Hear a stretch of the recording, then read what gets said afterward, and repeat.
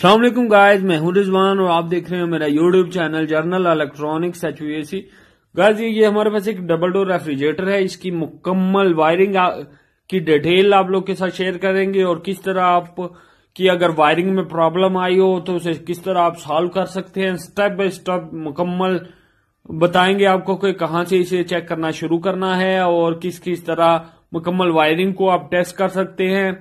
Thermostat इसके अलावा test lamp इसके अलावा कंप्रेसर और ले मुकम्मल कनेक्शन आप लोग को बताने वाले हैं। उससे पहले गाइस जो हमारे साथ नहीं है उनसे रिक्वेस्ट है कि चैनल को सब्सक्राइब कर लें और बेल आइकन को प्रेस करके आल ज़रूर प्रेस कर लें, ताकि हर आने वाली वीडियो का नोटिफिकेशन आप लोग को मिल सके।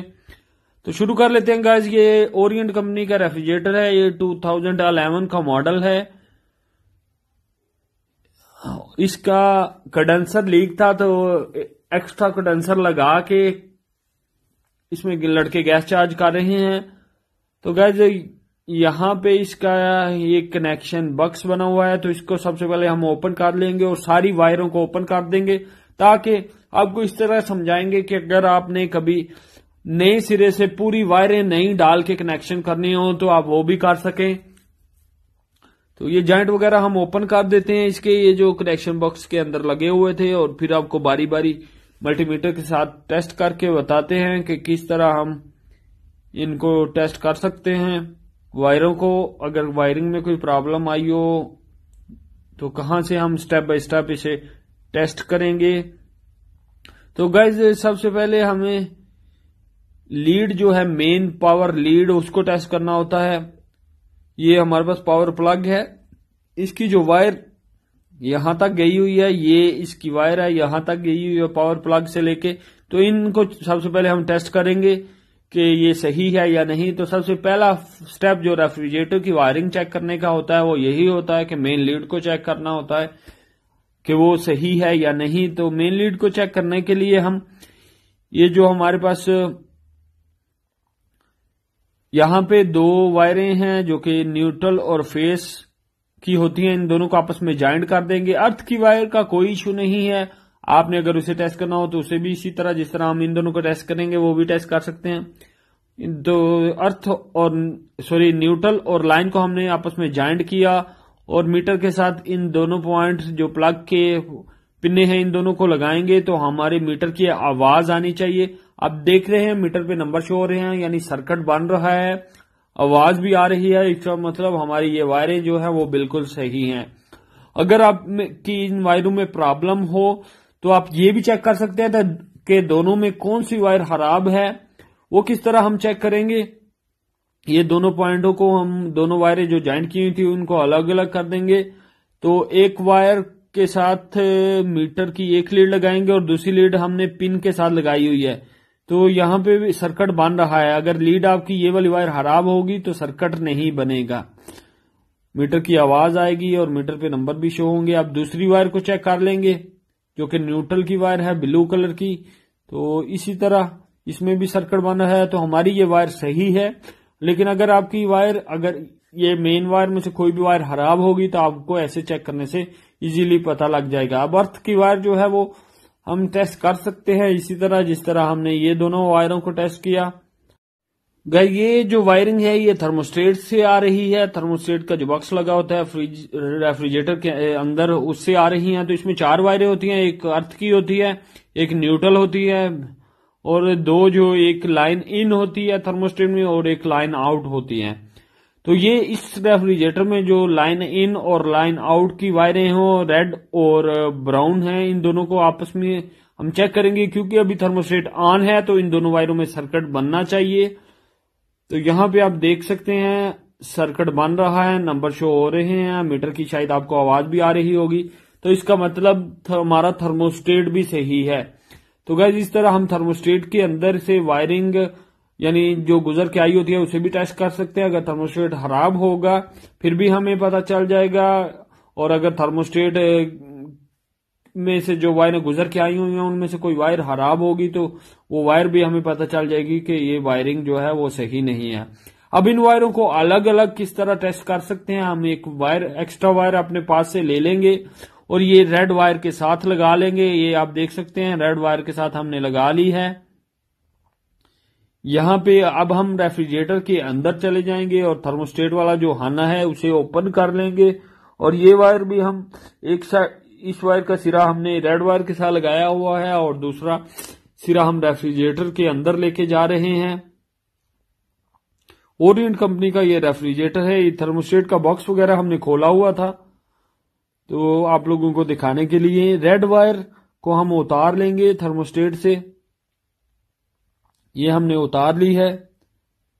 बल्कि हम सारी ही वायरें उतार देंगे ताकि आपको हर एक वायर का भी बता सकें कि किस तरह टेस्ट कर सकते हैं और थर्मोस्टेट की वायरिंग किस तरह हुई हुई है। इसके अलावा दोबारा अगर आपने कनेक्शन करने हो तो वो भी आप लोग को करके दिखाएँगे। इसमें जो सी है, ये वाला पॉइंट जो है, ये कॉमन का है। सॉरी एच एच का पॉइंट कॉमन का होता है। ये सी है जो कि थर्मोस्टेट पावर आउट करता है और ये हीटर का पॉइंट है जहाँ पे एल लिखा हुआ है। तो गैज पहले हम रेड वायर को टेस्ट कर लेंगे। ये हमारे पास रेड वायर है। रेड वायर के साथ एक और भी वायर जॉइंट है। उसको भी हम देख लेंगे। ये जो ग्रे कलर की है, ये कहाँ जाती है उसका भी आपको बताएँगे। सबसे पहले हम रेड वायर को टेस्ट कर लेंगे। ये हम ब्लैक वायर का एक सिरा हमने वायर रेड वायर के साथ लगाया हुआ है और दूसरा सिरा हम यहाँ पे लेके आए हुए हैं। तो हम मल्टीमीटर के साथ एक लीड जो है वो रेड वायर के साथ लगा लेंगे और दूसरी जो है हम अपनी जो ब्लैक वायर हमने एक्स्ट्रा वायर लगाई हुई है, इसको हमने मीटर को बजर पे बीप पे ही रखना है। तो ये एक्स्ट्रा वायर जो है इसके साथ लगाएँगे तो हमारे मीटर पे सर्किट बनना चाहिए। ये आप देख रहे हैं नंबर शो हो रहे हैं सर्किट बन रहा है। शायद आपको आवाज़ भी आ रही होगी। तो इसका मतलब हमारी रेड वायर जो है वो बिल्कुल सही है। इस तरह हम एक एक करके इन सारी वायरों को आपको टेस्ट करके दिखाएँगे। अब हम ये ब्राउन वायर जो है, जो कि मेन यूज़ की गई है इस रेफ्रिजरेटर में, वो भी आपको टेस्ट करके दिखाएँगे। आप देख सकते हैं, ये जो है, ये वायरिंग जो है नीचे से थर्मोस्टेट के बॉक्स तक आई हुई है। तो रेड वायर हमने चेक कर लिया ब्राउन चेक कर रहे हैं। ये एक मल्टीमीटर की लीड हमने ब्राउन वायर के साथ लगा ली और दूसरी हम जो एक्स्ट्रा वायर हम यूज़ कर रहे हैं वायरिंग चेक करने के लिए ब्लैक इसके साथ लगाई। पीछे से हमने जो वायर है वो चेंज कर दी है। रेड वाली जो है वो उतार के ब्राउन के साथ लगाई हुई है। ब्लैक वायर और इस तरह इसमें भी सर्किट बना तो हमारी ये वायर भी सही है। अब हमारे पास न्यूट्रल वायर रह जाती है जो कि यहाँ पे लगी हुई है तो इसको भी हम चेक कर लेंगे। इसी तरह मीटर की एक लीड हमने यहाँ पे लगाई। ब्लैक वायर हमने चेंज करके वायर ब्लू के साथ लगा दी है। जो अपनी एक्स्ट्रा वायर है वो हमने ब्लू वायर के साथ लगाई है। तो यहाँ पे हम चेक कर रहे हैं तो सर्किट बन रहा है। या आप देख रहे हैं, नंबर शो हो रहे हैं, आवाज़ भी आ रही है। तो इसका मतलब ब्लू वायर भी सही है। इस तरह हम ये वायरिंग जो है मुकम्मल टेस्ट कर सकते हैं। इसमें तीन ही वायरें आई होती हैं, एक न्यूट्रल की एक मेन लाइन जो आती है, वो एक मेन लाइन वापस जो थर्मोस्टेट के थ्रू होके कंप्रेसर के लिए जाती है, वो वाली। तो तीनों वायरें हमने टेस्ट कर ली हैं। अब टेस्ट लैंप और होल्डर की कौन कौन सी वायरें कहाँ कहाँ से गई होती हैं, वो भी बता देते हैं। और किस तरह हम इन्हें टेस्ट कर सकते हैं, वो भी आप लोग के साथ शेयर करने वाले हैं। तो गैज ये ब्राउन वायर है। ये आप देख रहे हैं, यहाँ पे आई हुई है। तो सबसे पहले हम इस वायर को टेस्ट कर लेंगे। एक लीड हमने वहाँ पे लगाई है दूसरी लीड जो है, यहाँ पे ब्राउन वायर के साथ लगा के चेक करेंगे तो हमारे मीटर में सर्किट बन रहा है, इसका मतलब ये वायर भी सही है। अगर हमने कभी डोर स्विच हमारा काम ना कर रहा हो लाइट ऑन हो रही हो तो हम इसकी वायरिंग भी इस तरह टेस्ट कर सकते हैं, वो आप लोग को दिखा रहे हैं। टेस्ट करके, ये व्हाइट वायर जो है डोर स्विच के अंदर से होके यहाँ तक आई हुई है, जो कि टेस्ट लैम्प के साथ अटैच थी। तो इसको भी हम टेस्ट कर लेंगे, एक वायर यहाँ पे लगाएँगे और दूसरी वायर हम जो है वो ये एक व्हाइट वायर के साथ हमने अपनी लीड लगा ली और दूसरी हमने ब्राउन के साथ ही लगी रहने दी। और इन दोनों पे लगा के हम डोर स्विच को प्रेस करेंगे तो हमारा जो मीटर है वो बंद होना चाहिए और वायर की तरफ़ होते हुए इसका सर्किट बनना चाहिए। तो आप देख रहे हैं यानी जिस तरह हम डोर ओपन रखते हैं तो हमारा लाइट ऑन होती है, डोर बंद करते हैं तो हमारी लाइट ऑफ़ हो जाती है। इसी तरह हम इसे टेस्ट कर रहे हैं। ये देखिए, बंद किया तो मीटर जो है वो आवाज़ नहीं कर रहा, कोई सर्किट नहीं बन रहा। जब हम छोड़ते हैं तो सर्किट बनता है और मीटर में आवाज़ आती है। मीटर में नंबर भी शो होते हैं। आप देख रहे हैं, नंबर शो हो रहे हैं। अब हमने डोर स्विच को छोड़ा हुआ है। तो हमारा डोर स्विच भी टेस्ट हो गया और डोर स्विच की वायरिंग भी टेस्ट होगी। अब हम टेस्ट लैम्प को, जो हमारी लाइट है, उसको किस तरह टेस्ट कर सकते हैं? इन दोनों को हम लगाएँगे तो हमारे मीटर पे नंबर शो होने चाहिए। ये आप देख सकते हैं नंबर शो हो रहे हैं। या बीप की आवाज़ आनी चाहिए तो हमें या होल्डर का भी पता चल जाएगा, वो सही है। इसके साथ जो दो वायरें लगी हुई हैं, उनका भी पता चल जाएगा। इसके अलावा जो लाइट बल्ब लगा हुआ है, उसका भी पता चल जाएगा, सही है या खराब है। तो गाइज़ सारी वायरें हमने चेक कर ली, मुकम्मल टेस्ट लैम्प की भी, थर्मोस्टेट वाली वायरें भी, होल्डर की वायरें भी, डोर स्विच की वायरिंग भी, सब कुछ चेक कर लिया। अब हम इसको किस तरह वापस कनेक्शन करेंगे, वो मुकम्मल डिटेल आप लोग के साथ शेयर करने वाले हैं। ये हमारी मेन लाइन है, जिसके ज़रिए फेस जो है थर्मोस्टेट में आता है। तो ओरियन ने जो थर्मोस्टेट में मेन लाइन जो है, वो एच पे लगाई हुई है। ये एच का पॉइंट है। तो इस पे हम ब्राउन की ब्राउन वायर जो है वो लगा देंगे। अब ये सी का वायर जो है ये कंप्रेसर को ऑपरेट करवाने के लिए है। थर्मोस्टेट जब ऑन होता है कूलिंग कम होती है तो थर्मोस्टेट ऑन रहता है। तो ये रेड वायर के ज़रिए हम, हमारा कंप्रेसर जो है वो ऑन हो जाता है। तो ये रेड वायर हम यहाँ पे लगा देंगे। इसके बाद ये हमारे पास जो तीसरा पॉइंट बाकी बच जाता है, वो हीटर का पॉइंट है। ये ब्राउन वायर जो है वो हीटर के लिए जा रही है रेड वायर के साथ एक। और दूसरा ये वाला पॉइंट है, इसमें ये हीटर का पॉइंट है, एक वायर डोर स्विच की तरफ़ जा रही है और एक हीटर की तरफ़ जा रही है। तो ये जो है, ये एल पॉइंट बना हुआ है, जो इस थर्मोस्टेट पे एल जिस पॉइंट पे लिखा हुआ है, वहाँ पे लगा, लगेगा। ये आप देख सकते हैं ब्राउन वायर यहाँ पे डोर स्विच की तरफ़ आई हुई थी। तो ये पॉइंट वायर जो है, ये यहाँ पे लग जाएगी। ये सारी वायरें लग गई। अब हमारे पास दो वायरें बच गई, एक न्यूट्रल है और एक जो डोर स्विच से होके फेस हमारा इस लैंप के लिए आया हुआ है, वो है। ये भी मैं आप लोग को लगा के दिखा देता हूँ। ये आप देख सकते हैं, इन दोनों को मैंने लगा दिया है। ब्लू न्यूट्रल न्यूट्रल के साथ और डोस से होता हुआ फेस आया है, वो भी लगा दिया है। थर्मोस्टेट की भी सारी वायरें लगा दी हैं, डोर स्विच की भी दोनों वायरें लगी हुई हैं। तो हमारी वायरिंग जो है अंदर की वो कंप्लीट हो चुकी है। अब हम बाहर जाके देखेंगे कि हमारी वायरिंग जो है वो कहाँ कहाँ लगती है।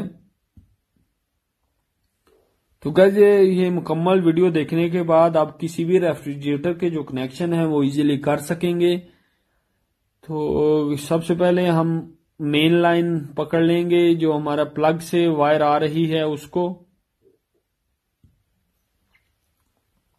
ये हमारी प्लग से वायरें आ रही हैं न्यूट्रल और फेस एक ब्राउन है और एक ब्लू कलर की है. कोई भी कलर हो सकता है, आपने किस तरह कनेक्शन करने हैं, ये देख लेना है. सबसे पहले हम थर्मोस्टेट में डोर स्विच के लिए लाइट के लिए सॉरी डोर स्विच नहीं होल्डर के लिए होल्डर में जो बल्ब लगा हुआ है, उसके लिए न्यूट्रल जानी है और एक न्यूट्रल जो है, हमारी डायरेक्ट अर्ले को जानी है. इन तीनों न्यूट्रल को हमने आपस में ज्वाइंट कर देना है। एक जो पावर प्लग से आई वायर इससे ये वाली है, एक और दूसरी जो है हमारे लाइट के लिए अंदर जानी है, और तीसरी जो है हमारी अरले के लिए लगनी है। ये लाइट के लिए जो अंदर से आई है, और ये अरले के लिए है। तो ये तीन पॉइंट हमारे न्यूट्रल के लिए होते हैं, यानी तीन वायरें होती हैं। इन तीनों को हमने आपस में ज्वाइंट कर लिया है। तो आपकी कोई भी वायर कलर की हो सकती है, इसी तरह आपने ज्वाइंट करना है। अब हमारा फेस जो है पावर प्लग से आया, वो ये ब्राउन कलर का है। और अंदर जो है थर्मोस्टेट के मेन पॉइंट पे, जो कि इस थर्मोस्टेट में एच का पॉइंट है, वहाँ पे जाके लगा तो हमने उसी वायर के साथ इसे ज्वाइंट कर दिया। यानी पावर आएगी, यहाँ ज्वाइंट हुई और डायरेक्ट जो है थर्मोस्टेट में चली गई। फेस जो है, यहाँ से पावर प्लग से डायरेक्ट थर्मोस्टेट में जाएगा और रेड वायर के ज़रिए रेड वायर के ज़रिए जो रेड वायर है वो इस थर्मोस्टेट में सी पे लगी हुई है। यानी थर्मोस्टेट जब कंप्रेसर को कमांड देगा कूलिंग कम होगी तो रेड वायर के ज़रिए पावर जो है वो वापस आएगी और डायरेक्ट अर्ले तक चली जाएगी। ये आप देख रहे हैं, हमने थर्मोस्टेट से पावर आई और यहाँ से होती हुई ये अर्ले में चलेगी। यानी थर्मोस्टेट जब भी कमांड देगा हमारे सिस्टम को तो वो कंप्रेसर जो है रन हो जाएगा। यानी अंदर कूलिंग कम होगी तो थर्मोस्टेट सिस्टम को ऑन करेगा। तो ये आप देख सकते हैं, अर्ले के पॉइंट जो लगे हुए हैं, वो नीचे रेड वायर जो है, वो सी पे लगी हुई है और ब्लू वायर जो है, यहाँ एन पे लगी हुई है। तो यही गाय सिंपल कनेक्शन होते हैं डबल डोर रेफ्रिजरेटर के आप बिल्कुल इजी तरीके से मुकम्मल कनेक्शन कर सकते हैं, कोई डिफिकल्टी नहीं है। अब हम, मैं ऑन करके भी आप लोग को दिखा देता हूँ रेफ्रिजरेटर को कि हमारे कनेक्शन ठीक हुए हैं या नहीं। तो ये मैंने इसे का पावर प्लग लगाया और स्विच ऑन किया तो आप देख सकते हैं हमारा कंप्रेसर जो है स्टार्ट हो गया क्योंकि रेफ्रिजरेटर बंद पड़ा हुआ था। तो थर कूलिंग नहीं है तो थर्मोस्टेट ने रेफ्रिजरेटर को कंप्रेसर को पावर देनी देनी है। तो जैसे ही थर्मोस्टेट से होती हुई पावर कंप्रेसर तक आई तो हमारा कंप्रेसर रन हो गाइज़ वीडियो अच्छी लगे तो लाइक ज़रूर करें और गाइज़ इस वीडियो में आपको कंप्लीट वायरिंग करना आ गई होगी अगर आपने गौर से देखा है। तो गाइज़ दूसरों के साथ शेयर भी करें ताकि जो भी हमारी फ़ील्ड से रिलेटेड नए टेक्नीशियन हैं, नया काम सीखना चाहते हैं, उनका भी फ़ायदा हो सके। और दोबारा आपको स्टार्ट करके दिखा रहे हैं तो आप देख रहे हैं इजीली प्रॉपर हमारी वायरिंग सही है, इसलिए हमारा कंप्रेसर जो है वो प्रॉपर रन कर रहा है। थैंक यू गाइस वीडियो अच्छी लगे तो लाइक ज़रूर करना है और व्हाट्सएप ग्रुप्स वगैरह में शेयर भी करना है। थैंक यू गाइज़ अल्लाह हाफिज